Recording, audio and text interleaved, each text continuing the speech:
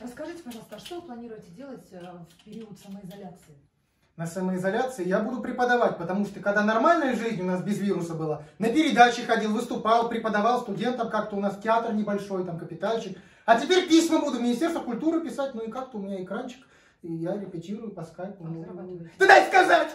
И вот выступаем. Кстати, ты тоже можешь прийти. Ты девушка такая статная, симпатичная, фактурная внешности. Я любые э, предложения готов рассмотреть, и актеров жду талантливых у себя. Я всегда рад.